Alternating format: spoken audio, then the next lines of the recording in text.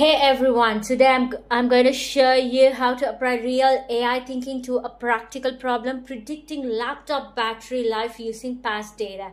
So this problem is from HackerRank but more importantly it mirrors how we approach predictive modeling in real world AI systems and we are here going to do it with just math and Python, no libraries, no shortcut.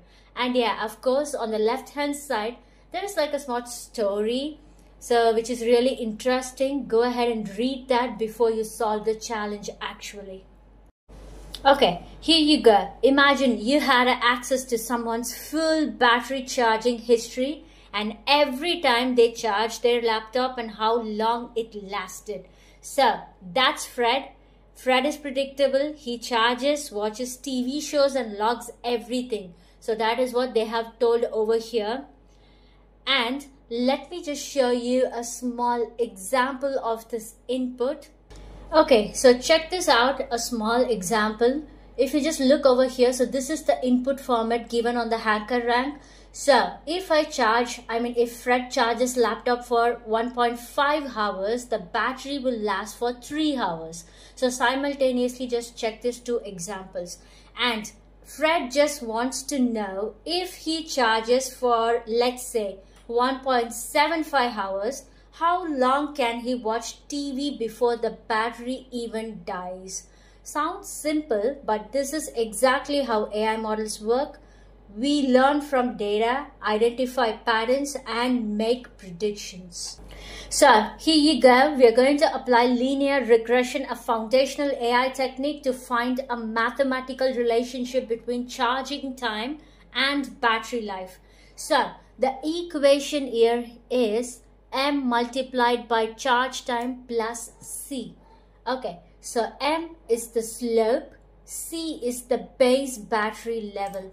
So by using this formula, we are going to solve that problem. Okay? And this this is model training in its simplest form using past data to learn parameters all right okay so just check this out the code. First we need to read the training data and clean it. And here's a professional tip. We only use the part of the data that actually charges the battery okay? Why? Because after 4.5 hours fred's battery flatlines at 8 hours any more charging doesn't help so just check this part which i just explained so this step is almost critical. Use this one 8.0 as Fred battery flatlines at 8 hours. Okay, do remember this. So in AI, bad data means bad predictions. Okay.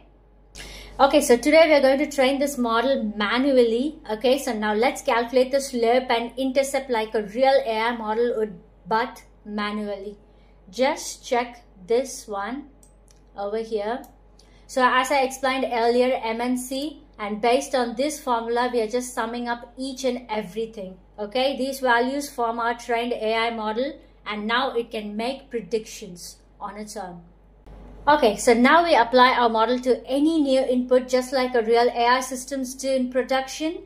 So check this one over here that we have used. We also cap the output at 8 because that's the physical limit.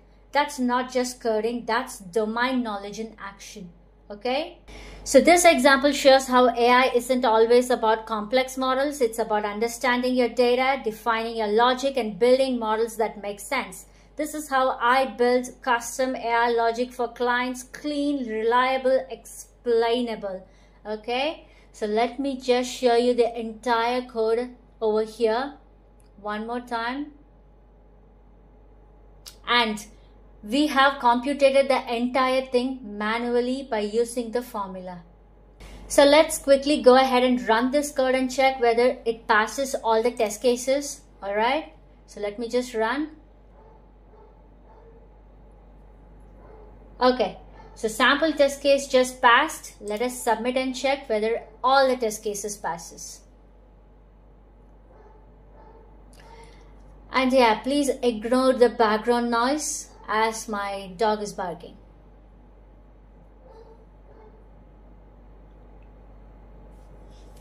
Okay, so here you go. All the test cases just passed. Okay, so that means the code is working. Okay, so if you're a business looking to make sense of your data, automate insights, or add real AI into your product, this is what I do. And if you're a learner, hit subscribe for more real AI coding examples from simple models like this to advanced projects with GPT and agents. Comment below if you want the code or walkthrough for other AI logic problems. Thank you so much.